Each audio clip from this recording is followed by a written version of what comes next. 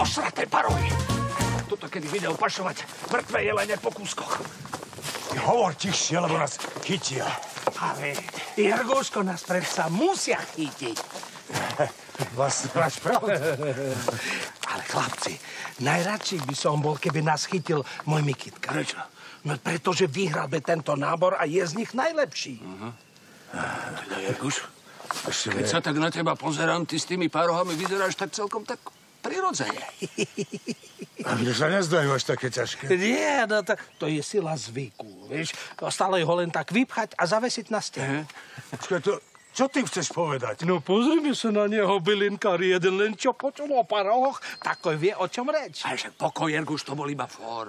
Však tvoja Svetlanka by ti parohy predsa nikdy nenasadila. Chlapci, neusierajte si zo mňa. Viete, že na túto tému som citlivý.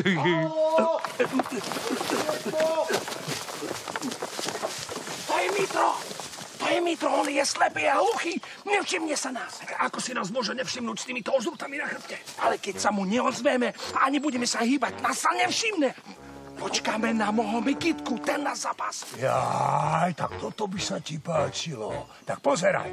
Haló, Vitro, tu sme. To máš za to, že si zo mňa usieraš. Tu sme.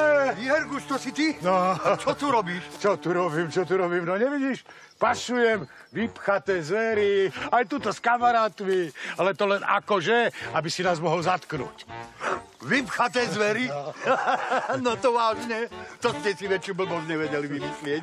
No vidíš, nevedeli. Jaj, jaj, jaj.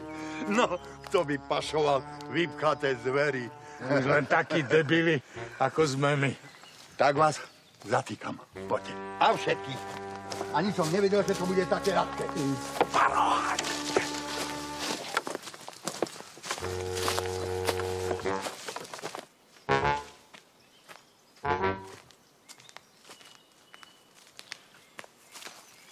Stoj!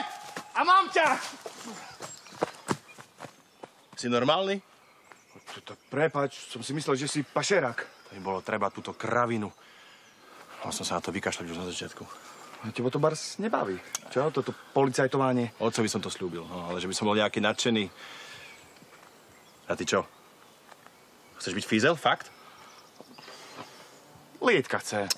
Dobre, je to lepšie, jak to vozenie hnoja, hodinový manžel alebo kuriér. Čo, počkaj.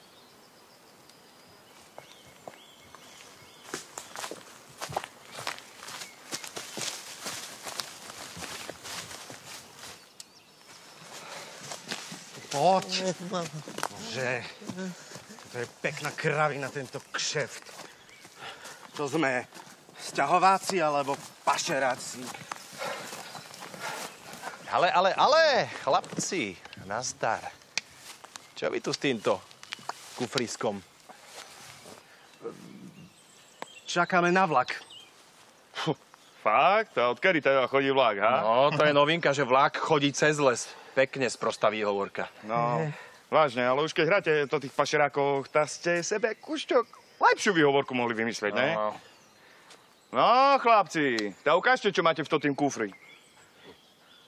Poď! Ale stojte! Hej, malý, veľký, stojte! Však Kryšo, poď, hej, za nimi! Haha, to určite. Behať po lese. Stačí, že to baví teba. No, tak čo tam máme?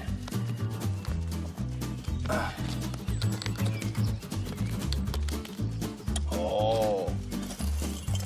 Volotočárske trblietky. Keby si tu nestal, tak by som ich chytil. Mikita, Mikita, málo si sa snažil. Aspoň toho drobného si mohol dobehnúť. Ty ale sa jak kľúčkoval kolo to tých stromov. Dobre, je to úplne jedno, stačí, že máme tovar. Poďme, nech to máme z krku. Počak, však mi pomôž, ne?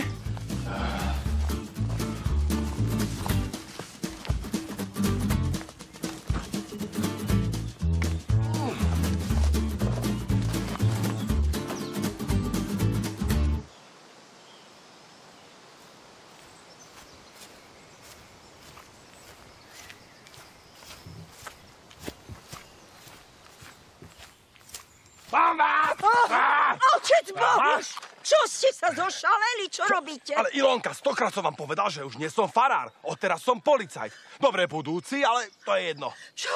Vy ste zošaleli? Vy ste sa dali k tým grázlom? Dobre, dobre. Viete, o čo tu ide? Tak, nech to máme čím skôr za sebou. Ale o čo tu ide? Vy ma chcete spútať, veď ja som nič nespravila. Ah, Výborne to hráte, výborne, Ilonka, výborne. Aha, kontraband vám zabavujem. Ale Počkajte. Moment, moment, moment. čo robíte? Ticho, Otec! Hegedušová. Ticho.